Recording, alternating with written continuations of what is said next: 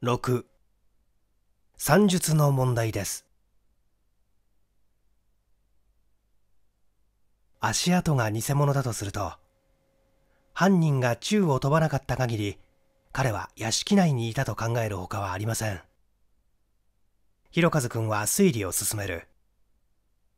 次に奴はなぜ金製品ばかりをめがけたか。この点が実に面白いのです。これは一つには族が琴の三尾という黄金鏡のいることを知っていてその気狂いの仕業らしく装うためだったでしょう。足跡をつけたのも同じ意味です。だが他にもう一つ妙な理由があった。それはねあの金製品類の大きさと目方に関係があるのですよ。私は二度目だったからさほどではないが畑野氏はこの奇妙な説にあっけに取られたと見え黙り込んで広和くんの顔を眺めるばかりだ。病床の素人探偵は構わず続ける。この見取り図がちゃんとそれを語っています。畑野さんあなたはこの洋館の外まで伸びてきている池の図をただ意味もなく書き留めておかれたのですか？というとああ君は？と警部は非常に驚いた様子であったがやがて「まさかそんなことが!」と半信半疑である。高価な金製品なれば族がそれをめがけたとしても不自然ではありません。と同時に皆形が小さくしかも十分目方があります賊が盗み去ったと見せかけてその実池へ投げ込むにはおあつらえ向きじゃありませんか。松村君さっき君に花瓶を投げてもらったのはねあの花瓶が盗まれた置き時計と同じくらいの重さだったと思ったのでどれくらい遠くまで投げられるものか試してみたのだよ。つまり池のどの辺りに盗難品が沈んでいるかということをねしかし犯人はなぜそんな手数のかかる真似をしなければならなかったのです？君は盗賊の仕業と見せかけるためだと言われますがそれじゃあ一体何を盗賊の仕業と見せかけるのです？金製品の他に盗まれた品でもあるのですか？全体何が犯人の真の目的だったとおっしゃるのですか？東警部。分かりきっているじゃありませんか。この僕を殺すのが奴の目的だったのです。え？あなたを殺す？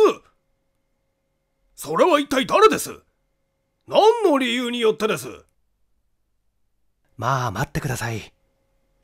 僕がなぜそんな風に考えるかと言いますとねあの場合賊は僕に向かって発砲する必要は少しもなかったのです闇に紛れて逃げてしまえば十分逃げられたのです。ピストル強盗だってピストルは脅かしに使うばかりでめったに発射するものではありません。それにたかが金製品くらいを盗んで人を殺したり傷つけたりしちゃ泥棒の方で引き合いませんよ。窃盗罪と殺人罪とでは刑罰が非常な違いですからね。と考えてみるとあの発砲は非常に不自然です。ね？そうじゃありませんか？僕の疑いはここから出発しているんですよ。泥棒の方は見せかけで真の目的は殺人にあったのじゃないかという疑いはね。で君は一体誰を疑っているんです？君を恨んでいた人物でもあるのですか？畑野氏はもどかしそうだ。ごく簡単な算術の問題です。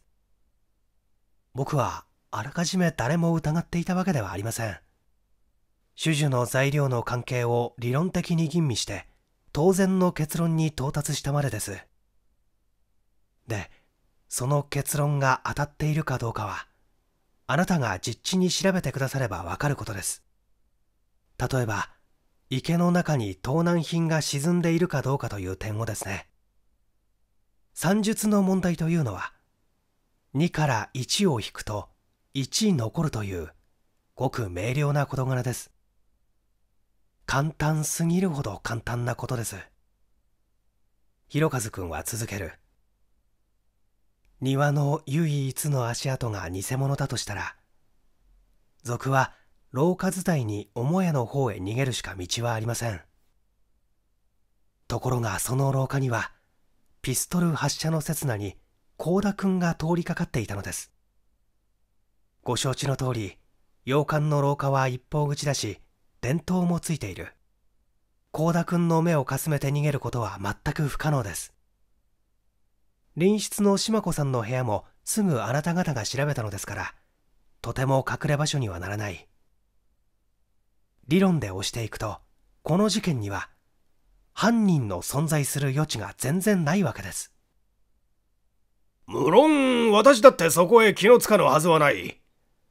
賊は賊は母屋の方へ逃げることはできなかった。したがって犯人は外部からという結論になったわけですよ。と畑野氏が言う。犯人は外部にも内部にもいなかったとすると後に残るのは被害者の僕と最初の発見者の幸田君の二人です。だが被害者が犯人であるはずはない。どこの世界に自分で自分に発砲するバカがありましょう。そこで最後に残るのは幸田君です。2から1引くという算術の問題はここですよ。二人のうちから被害者を引き去れば後に残るのは加害者でなければなりません。では君は？警部と私が同時に叫んだ。そうです。我々は錯覚に陥っていたのです。一人の人物が我々の盲点に隠れていたのです。彼は不思議な隠れ身の被害者の親友で事件の最初の発見者という隠れ蓑に隠れていたのです。じゃあ君はそれを初めから知っていたのですか？いや今日になって分かったのです。あの晩はただ黒い人影を見ただけです。理屈はそうかもしらぬがまさかあのおとなしい幸田君が私は彼の意外な結論を信じかねて口を挟んだ。さあ、そこだ。僕も友達を罪人にしたくはない。だが黙っていたら、あの気の毒な狂人が無実の罪を着なければならないのだ。それに幸田君は、決して僕らが考えていたような善良な男ではない。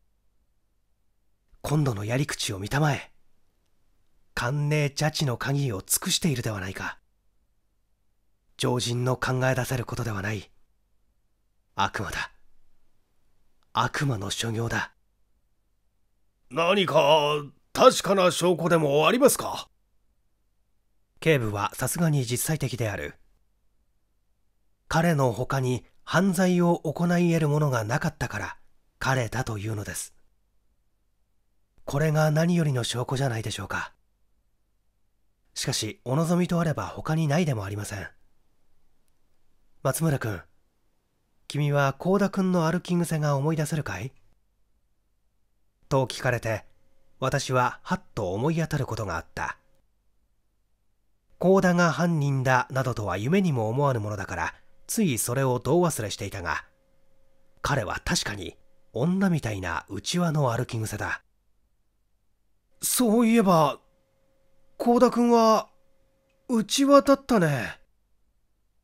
それも一つの証拠です。だが、もっと確かなものがあります。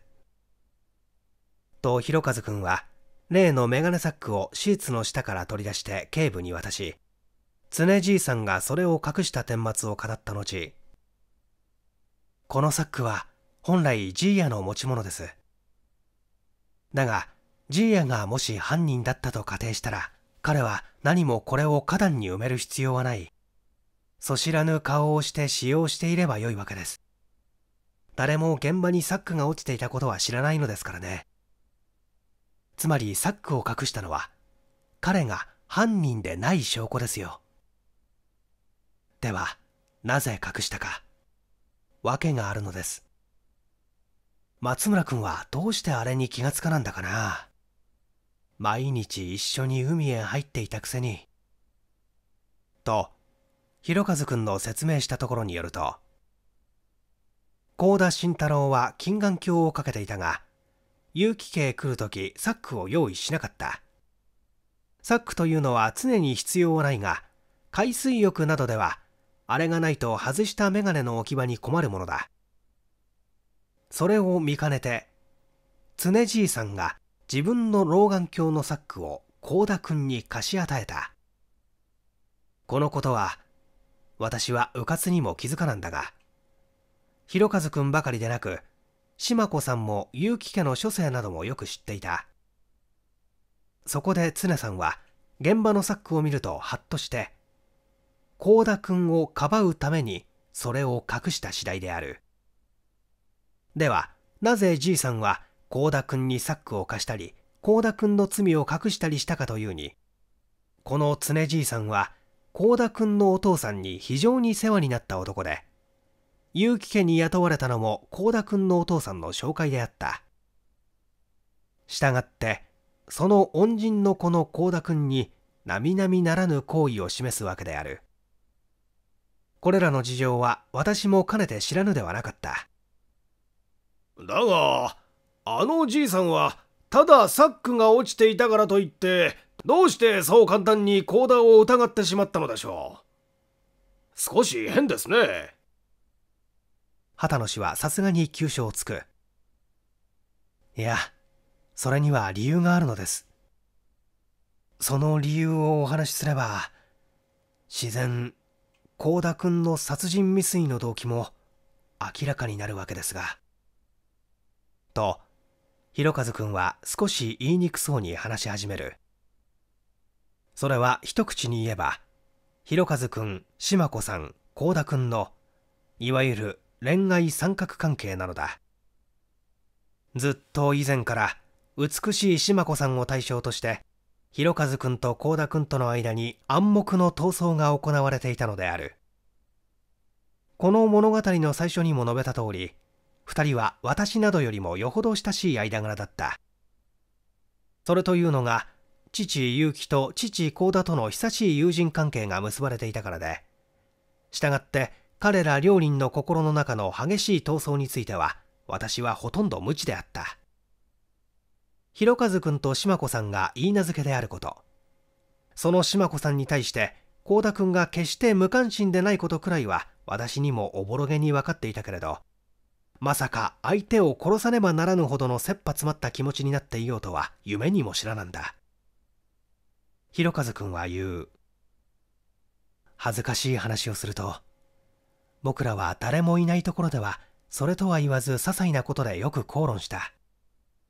いや、子供みたいに取っ組み合いさえやった。そうして、泥の上を転がりながら、島子さんは俺のものだ、俺のものだと、互いの心の中で叫んでいたのだ。一番いけないのは、島子さんの態度の曖昧なことだった。僕らのどちらへも失恋を感じるほどきっぱりした態度を見せなかったことだ。そこで幸田君にすれば、言い名付けという非常な強みを持っている僕を殺してしまえば、という気になったのかもしれませんね。この僕らのいがみ合いを、常じいやはちゃんと知っていたのです。事件のあった日にも、僕らは庭でムキになって口論をした。それもジーヤの耳に入っていたに違いない。そこで、幸田君所持のサックを見ると、忠義な家来の直角で、ジーヤは恐ろしい意味を悟ったのでしょう。なぜと言って、あの書斎は幸田君などめったに入ったことがないのだし、ピストルの音で彼が駆けつけた時には、ただドアを開いて倒れている僕を見ると、すぐ母屋の方へ駆け出したわけですから、一番奥の窓の側にサックを落とすはずがないからです。これで一切が明白になった。広和君の理路整然たる推理にはさすがの畑野警部も異議を差し挟む余地がないように見えた。この上は池の底の盗難品を確かめることが残っているばかりだ。しばらくすると偶然の幸せにも警察署から畑野警部に電話で吉報をもたらした。その夜結城家の池の底の盗難品を警察へ届け出たものがあった。池の底には例の金製品の他に凶器のピストルも偽の足跡の靴旅もガラス切りの道具まで沈めてあったことが分かった。読者もすでに想像されたであろうようにそれらの品を池の底から探し出したのは例の赤井さんであった。彼がその夕方泥まみれになって結城邸の庭をうろついていたのは池へ落ちたのではなくて盗難品を取り出すためにそこへ入ったのだ。私は彼を犯人ではないかと疑ったりしたがとんだ思い違いで反対に彼もまた優秀なる一個の素人探偵だったのだ。私がそれを話すと広和君は「そうとも僕は最初から気づいていたよ」常じいやがサックを埋めるところを覗いていたのも琴の三右衛門の家から金ピカになって出てきたのも皆事件を探偵していたのだあの人の行動が僕の推理には非常に参考になった。現にこのサックを発見することができたのも、つまり赤井さんのおかげだからね。さっき君が赤井さんが池に落ちたと話した時には、さてはもうそこへ気がついたかとびっくりしたほどだよ。と語った。さて、以下の事柄は直接見聞したわけではないが、便宜上順序を追って記しておくと池から出た品物のうち例の靴旅は浮き上がることを恐れてか金の灰皿と一緒にハンカチに包んで沈めてあったそれがなんと幸田慎太郎のハンカチに相違ないことが分かったのだ。というのはそのハンカチの端に SK と彼の頭字が墨で書き込んであったからだ。彼もまさか池の底の品物が取り出されようとは思わずハンカチの目印まで注意が行き届かなんだのであろう。翌日幸田慎太郎が殺人被疑者として認知されたのは申すまでもない。だが彼はあんなおとなしそうな様子でいて実は非常な強情者であった。いかに責められてもなかなか実を吐かぬのだ。では事件の直前どこにいたかと問い詰められると彼は黙り込んで何も言わぬ。つまりピストル発射までのアリバイも成立しないのだ。最初は頬を冷やすために玄関に出ていたなどと申し立てたけれどそれは結城家の書生の証言でたちまち覆されてしまった。あの晩一人の書生はずっと玄関脇の部屋にいたのだ。赤井さんがタバコを買いに出たのが本当だったこともその書生の口から分かった。しかしいくら強情を張ったところで証拠が揃いすぎているのだから仕方がない。その上アリバイさえ成り立たぬのだ。言うまでもなく彼は起訴され正式の裁判を受けることになった。未決入りである。7砂丘の影。それから1週間ほどして私は結城家を訪れた。いよいよ広和くんが退院したという通知に接したからだ。まだ屋敷内に湿っぽい空気が漂っていた。無理もない。一人息子の広和くんが退院したとはいえ足の不自由な体になってしまったのだから。父少々も母夫人もそれぞれの仕方で私に愚痴を聞かせた。中にも一番辛い立場は島子さんである。彼女はせめてもの詫びの心かまるで親切な妻のように不自由な弘和君に付き切って世話をしていると母夫人の話であった。ひろかずくんは思ったよりも元気で血生臭い事件は忘れてしまったかのように小説の副案などを話して聞かせた。夕方例の赤井さんが訪ねてきた。私はこの人にはとんだ疑いをかけてすまなく思っていたので以前よりは親しく話しかけた。ひろかずくんも素人探偵の来訪を喜んでいる様子だった。夕食後私たちは島子さんを誘って4人連れで海岸へ散歩に出た。松葉杖って案外便利なものだね。ほら見たまえ。こんなに走ることだってできるから。ひろかずくんは浴衣の裾を翻して変な格好で飛んでみせた。新しい松葉杖の先が地面につくたびにコトコトと寂しい音を立てる。危ないわ。島子さんは彼につきまとって走りながらハラハラして叫んだ。諸君。これから由比ヶ浜の余興を見に行こう。とひろかずくんが大はしゃぎで道義を出した。歩けますか？赤井さんが危ぶむ大丈夫。一里だって。余興場は10丁もありやしない。歩き始めの子供みたいに歩くことを強楽している。私たちは冗談を投げ合いながら月夜の田舎道を涼しい浜風にたもとを吹かせて歩いた。道の半ば話が途切れて4人とも黙り込んで歩いていた時何を思い出したのか赤井さんがクック笑い出した。非常に面白いことらしくいつまでも笑いが止まらぬ。赤井さん？何をそんなに笑っていらっしゃいますのよ？島子さんがたまらなくなって尋ねた。いえねつまらないことなんですよ。赤井さんはまだ笑い続けながら答える。あのね私は今人間の足っていうものについて変なことを考えていたんですよ体の小さい人の足は体に相当して小さいはずだとお思いでしょうところがね体は子作りなくせに足だけはひどく大きい人間もあることが分かったのですよ。滑稽じゃありませんか？足だけ大きいのですよ。赤井さんはそう言ってまたクックと笑い出した。島子さんはおぎりにまあと笑ってみせたが、無論どこが面白いのだかわからぬ様子だった。赤井さんの行ったりしたりすることはなんとなく異様である。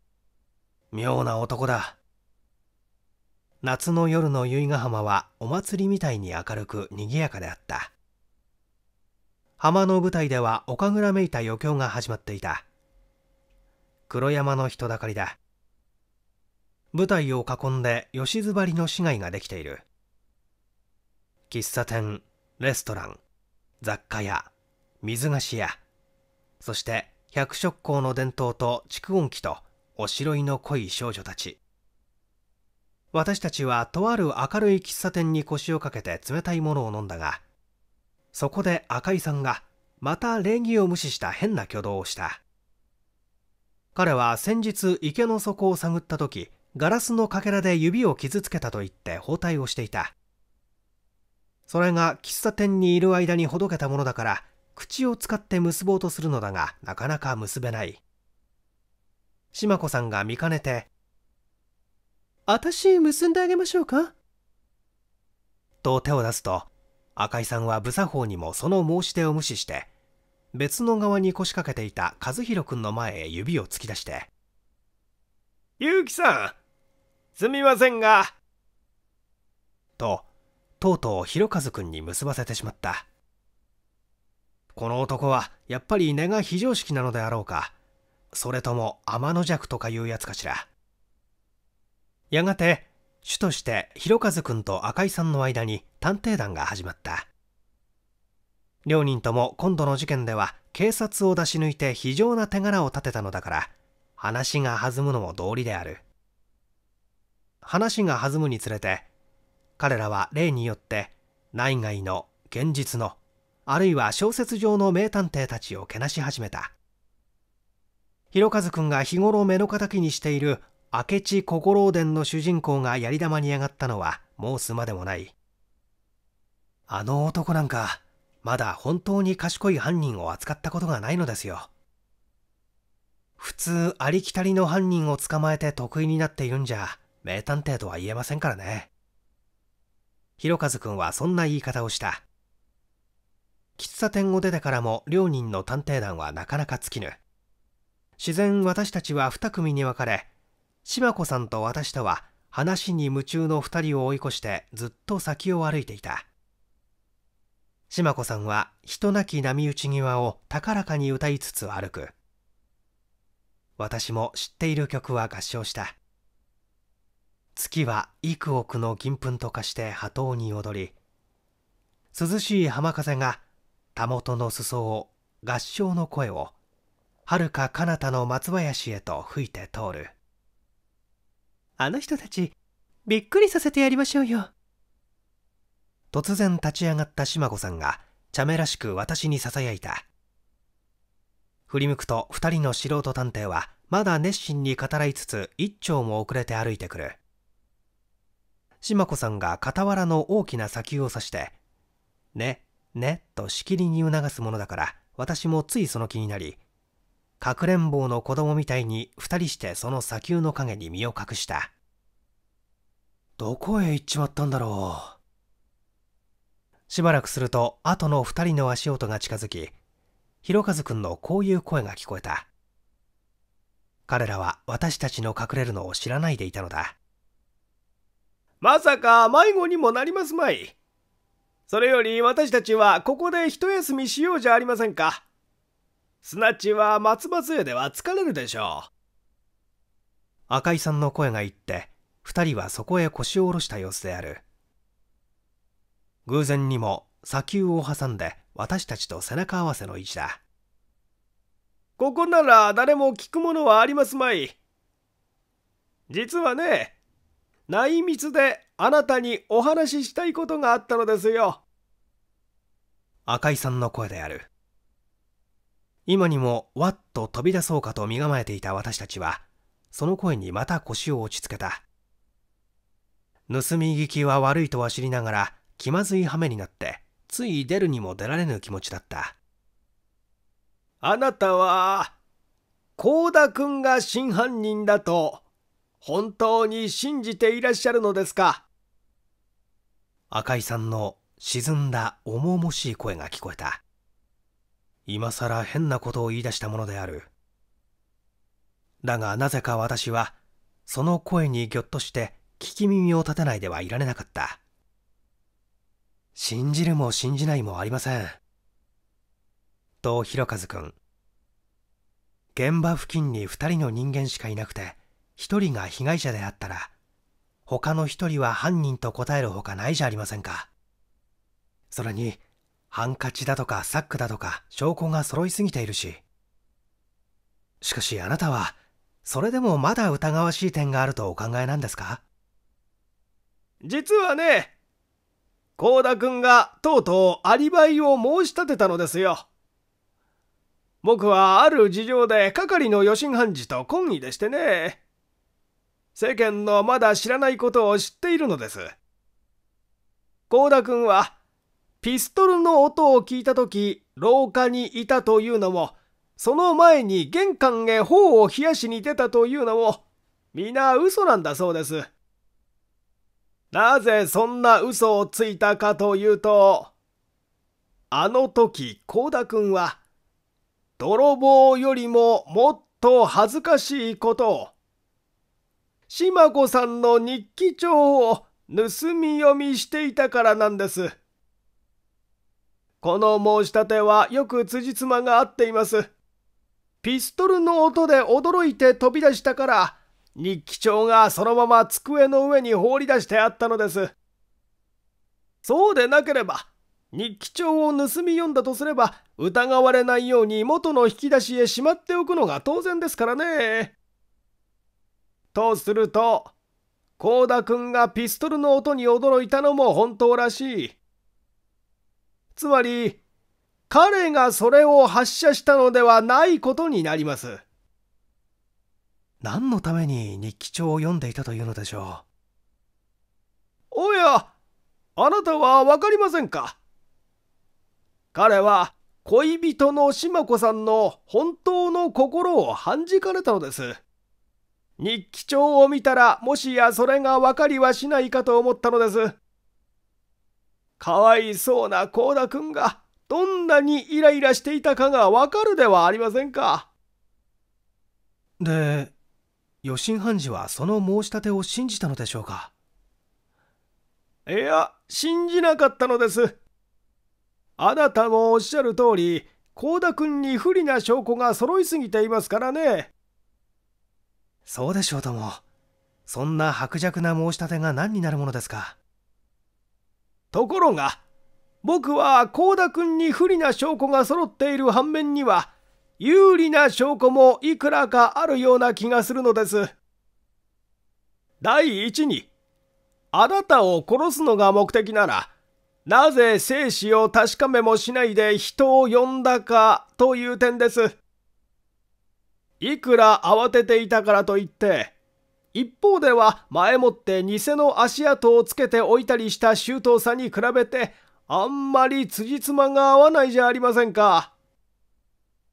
第2には偽の足跡をつける場合往復の逆であることを看破されないために足跡の重なることを避けたほど綿密な彼が自分の足癖をそのまま内輪につけておいたというのも信じがたいことです。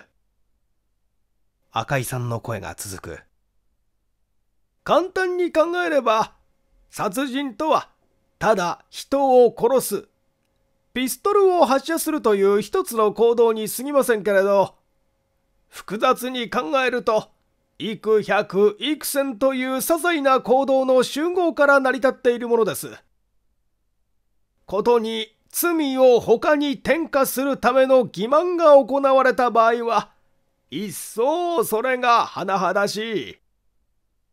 今度の事件でも、メガネサック、靴旅、偽の足跡、気丈に放り出してあった日記帳、池の底の金製品と、ごく大きな要素を挙げただけでも10くらいはある。その各要素について犯人の一挙手一投足を綿密にたどっていくならばそこに幾百幾千の特殊なる小行動が存在するわけです。そこで探偵が活動写真フィルムの一コマ一コマを検査するようにその小さな行動のいちいちを推理することができたならばどれほど頭脳明晰で用意周到な犯人でも到底処罰を免れることはできないはずです。しかし、そこまでの推理は残念ながら人間力では不可能ですから、せめて我々はどんな些細なつまらない点にも絶えず注意を払って、犯罪フィルムのある重要な一コマにぶつかることを強行するほかはありません。その意味で僕は、幼児からの幾億回とも知れぬ反復で一種の反射運動と化しているような事柄例えばある人は歩く時右足から始めるか左足から始めるか手ぬぐいを絞る時右にねじるか左にねじるか服を着る時右手から通すか左手から通すかというようなごく些細な点に常に注意を払っています。これらの一見つまらない事柄が犯罪捜査にあたって非常に重大な決定要素となることがないとも限らぬからです。さて、幸田君にとって第3の反証ですが、それは例の靴旅と重りの灰皿とを包んであったハンカチの結び目なのです。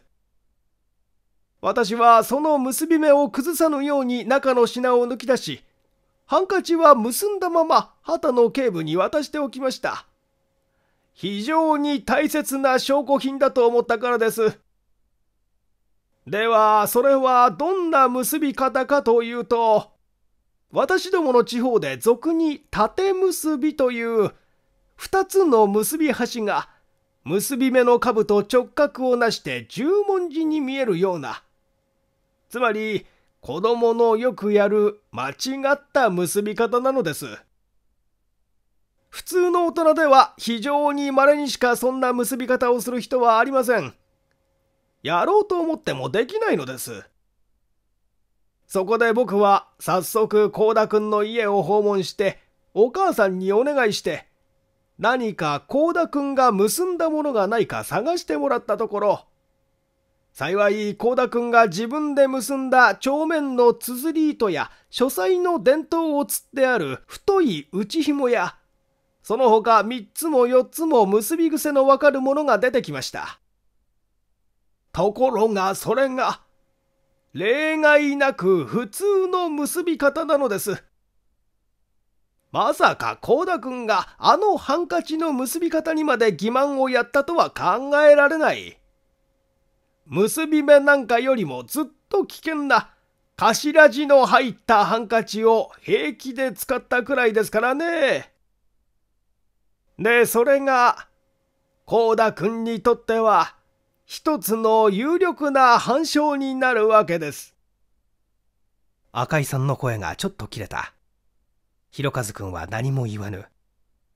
相手の微細な観察に感じ入っているのであろう。盗み聞く私たちも真剣に聞き入っていた。ことに島子さんは、息遣いも激しく、体が小さく震えている。敏感な少女は、すでにある恐ろしい事実を察していたのであろうか。8ソーアート・ザ・マンしばらくすると赤井さんがクスクス笑う声が聞こえてきた。彼は気味悪くいつまでも笑っていたがやがて始める。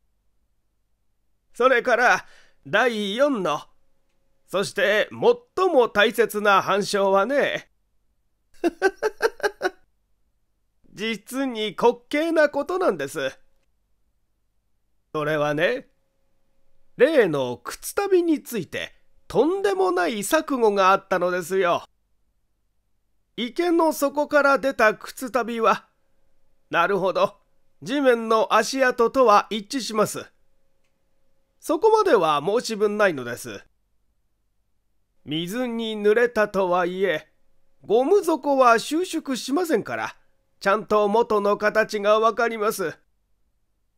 僕は試みにその問数を測ってみましたが、10問の旅と同じ大きさでした。ところがね。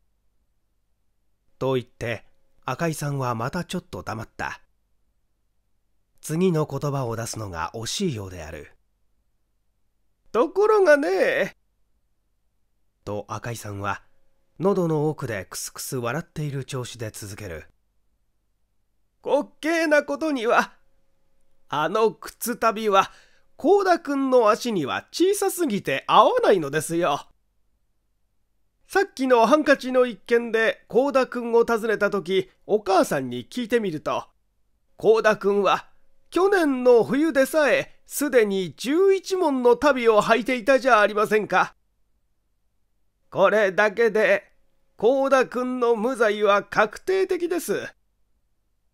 なぜと言って、自分の足に合わない靴旅ならば、決して不利な証拠ではないのです。何を苦しんで重りをつけて沈めたりしましょう。この滑稽な事実は、警察でも裁判所でもまだ気づいていないらしい。あんまり予想外なバカバカしい間違いですからね。取り調べが進むうちに間違いがわかるかもしれません。それとも、あの旅を県議者に履かせてみるような機会が起こらなかったら、あるいは誰も気づかぬまま済んでしまうかもしれません。お母さんも言っていましたが、幸田君は身長の割に非常に足が大きいのです。これが間違いのもとなんです。想像するに真犯人は幸田君より少し背の高いやつですね。やつは自分の旅の問数から考えて自分より背の低い幸田君がまさかそれより大きい旅を履くはずがないと信じきっていたためにこの滑稽千万な錯誤が生じたのかもしれませんね。証拠の羅列はもうたくさんです。光一君が突然イライラした調子で叫んだ。結論を言ってください。あなたは一体誰が犯人だとおっしゃるのですか？それは、あなたです。赤井さんが落ち着いた声で、真正面から人差し指を突きつけるような調子で言った。脅かしちゃいけません。冗談はよしてください。どこの世界に父親の大切にしている品物を池に投げ込んだり、自分で自分に発砲したりするやつがありましょう。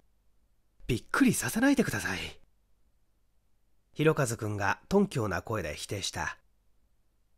犯人は、あなたです。赤井さんは同じ調子で繰り返す。あなた、本気で言っているのですか何を証拠に？何の理由でごく明白なことです。あなたの言い方を借りると、簡単な算術の問題にすぎません。2から1引く1。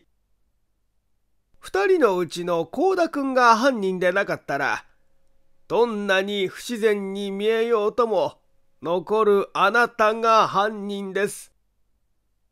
あなた、ご自分の帯の結び目に手をやってごらんなさい。結び端がぴょこんと縦になっていますよ。あなたは子供の自分の間違った結び癖を大人になっても続けているのです。その点だけは珍しく不器用ですね。しかし、帯は後ろで結ぶものですから、例外かもしれないと思って、僕はさっきあなたにこの包帯を結んでもらいました。ご覧なさい。やっぱり十字型の間違った結び方です。これも一つの有力な証拠にはなりませんかね。赤井さんは沈んだ声であくまで低調な言葉遣いをする。それが一層不気味な感じを与えた。だが、僕はなぜ自分自身を撃たなければならなかったのです。僕は臆病だし、見え坊です。ただ幸田君を陥れるくらいのために、痛い思いをしたり、生涯足を不自由にして暮らすようなバカな真似はしません。他にいくらだって方法があるはずです。ひろかずくんの声には確信がこもっていた。なるほどなるほど。いかに幸田君を憎んだからといって、ひろかずくん自身が命にも関わる大傷を負ったのでは引き合わないはずだ。被害者が、すなわち加害者だなんて、そんなバカな話があるものか。赤井さんはとんだ思い違いをしているのかもしれない。さあ、そこです。その信じがたい点にこの犯罪の大きな欺瞞が隠されている。この事件では、すべての人が催眠術にかかっています。根本的な一大錯誤に陥っています。それは、被害者は同時に加害者ではありえないという迷信です。それから、この犯罪が単に幸田君を無実の罪に落とすために行われたと考えることも大変な間違いです。そんなことは実に小さな副産物にすぎません。赤井さんはゆっくりゆっくり低調な言葉で続ける。実に考えた犯罪です。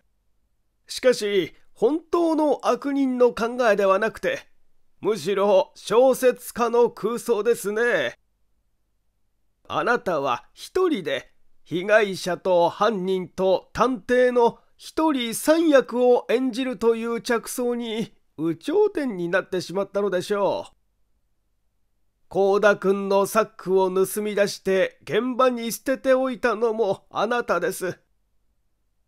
金製品を池に投げ込んだのも窓ガラスを切ったのも偽の足跡をつけたのも言うまでもなくあなたです。そうしておいて、隣の島子さんの書斎で、幸田君が日記帳を読んでいる機会を利用して、この日記帳を読ませたのも、あなたがそれとなく暗示を与えたのではありませんか。荘園の焼け焦げがつかぬよう、ピストルの手を高く上げて、一番離れた足首を打ったのです。あなたはちゃんとその物音で隣室の幸田くんが飛んでくることを予知していた。同時に恋人の日記の盗み読みという恥ずかしい行為のため幸田くんがアリバイの申し立てについて曖昧な疑われやすい態度を示すにそういないと見込んでいたのです。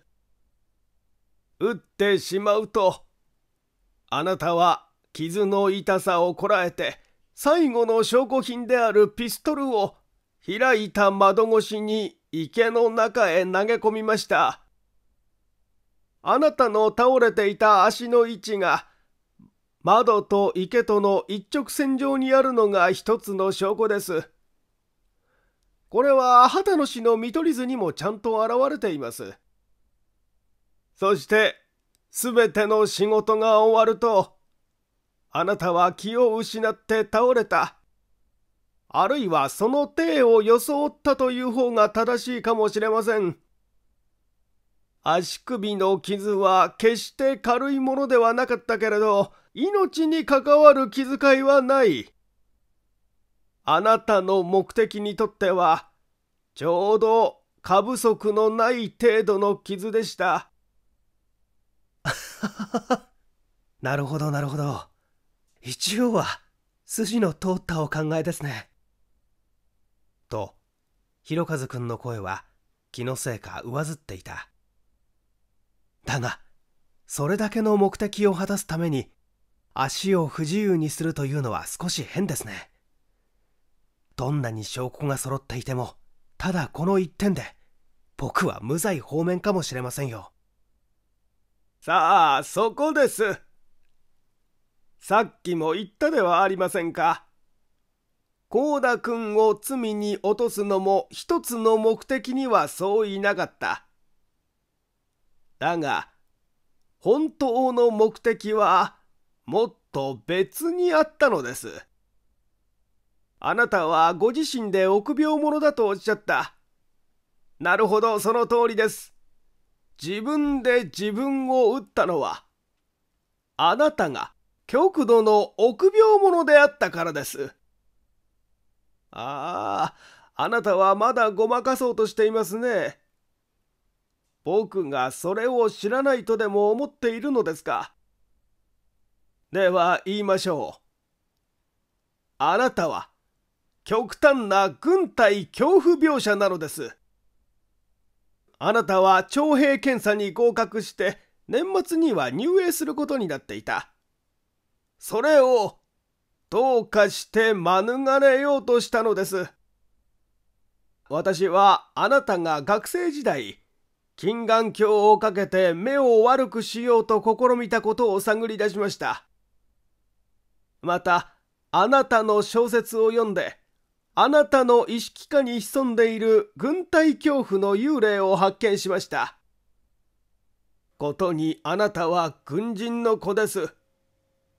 姑息な手段はかえって発覚の恐れがある。そこであなたは内臓を害するか指を切るというような上等手段を排して思い切った方法を選んだ。しかもそれは一石にして二鳥を落とす明暗でもあったのです。おや？どうかしましたか？しっかりなさい。まだお話しすることがあります。気を失うのではないかとびっくりしましたよ。しっかりしてください。僕は君を警察へ突き出す気はありません。ただ僕の推理が正しいかどうかを確かめたかったのです。しかし、君はまさかこのまま黙っている気ではありますまいね。それに君はもう君にとって何より恐ろしい処罰を受けてしまったのです。この砂丘の後ろに君の一番聞かれたくない女性が今の一部始終を聞いていたのです。では僕はこれでお別れします。君は一人で静かに考える時間が必要です。ただお別れする前に僕の本名を申し上げておきましょう。僕はね、君が日頃軽蔑していた、あの、明智小五郎なのです。お父さんのご依頼を受けて、陸軍のある秘密な盗難事件を調べるために、延命でお宅へ出入りしていたのです。あなたは、明智小五郎は理屈っぽいばかりだとおっしゃった。だがその私でも小説家の空想よりは実際的だということがお分かりになりましたか？ではさようなら。そして驚愕と当惑のために上の空の私の耳へ赤井さんが砂を踏んで遠ざかる静かな足音が聞こえてきた。